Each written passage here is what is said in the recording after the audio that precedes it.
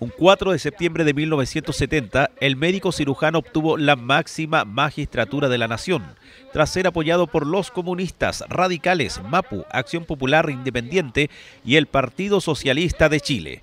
Todos estos colores políticos conformaron el conglomerado de la Unidad Popular. Y la noche del miércoles 4 de septiembre, personas del Partido Comunista, agrupaciones de derechos humanos, de expresos políticos, de ex detenidos desaparecidos, dirigentes, trabajadores y el alcalde de Iquique, Jorge Soria Quiroga, se dieron cita en la Plaza Salvador Allende Gossens para rendirle un homenaje al expresidente. Y fue frente al busto del exmandatario donde recordaron el legado del primer presidente marxista de Occidente, que fue muerto el 11 de septiembre de 1973 durante el golpe de Estado que lideró el ex general de ejército Augusto Pinochet Ugarte.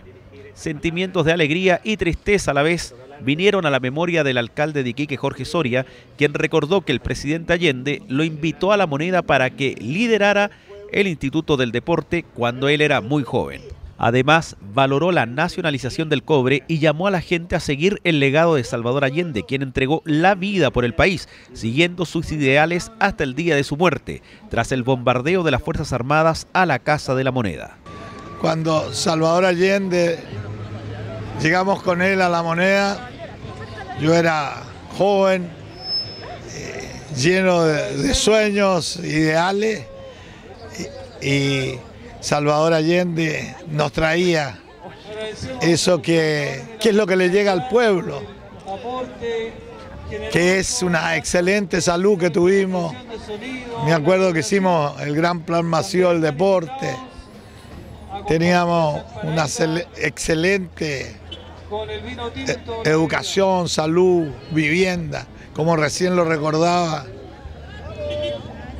esas viviendas que hay en la puntilla, esos chaleces mirando al mar. Eh, era un programa de Salvador Allende para que todas las caletas tuvieran a todos sus pescadores viviendo al lado de ella. Y con eso quiero reflejar en una sola palabra lo que Salvador Allende representaba para el pueblo de Chile. Buscaba la calidad de vida, buscaba la igualdad en obtener los medios mínimos para vivir, salud, educación, vivienda digna, trabajo. Y cuando digo trabajo, él recuperó el cobre para todos los chilenos, la viga maestra. Cobre que hoy en día ya no está en manos totales del país. ¿Qué pasaría en este instante si ese cobre tributara como debe tributar sería la calidad de vida de los chilenos 10 veces mejor que la de hoy. En tanto que el concejal comunista Pedro Cisternas destacó que durante los mil días del gobierno de la Unidad Popular se generaron las grandes transformaciones sociales en el país. Es por ello que es importante que se conmemore la fecha en que el presidente Allende ganó las elecciones presidenciales, acotó Cisternas. Bueno, es muy importante que hoy día, 4 de septiembre, los iquiqueños recordemos un día muy trascendente en la historia de nuestro país. Fue el día en que se eligió a Salvador Allende como presidente de la nación. Y es un día muy importante porque durante ese gobierno se desarrollaron, como dije en mi discurso, las más grandes transformaciones sociales que se desarrollaron en nuestro país.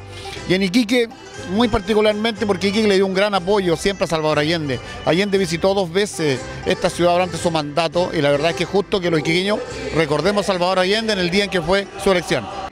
Por su parte, el ex diputado y ex preso político en Pisagua, Rigoberto Echeverría, dijo que este tipo de homenajes sirve para mantener viva la memoria del mandatario socialista y se manifestó orgulloso de haber compartido una lista al Parlamento con él.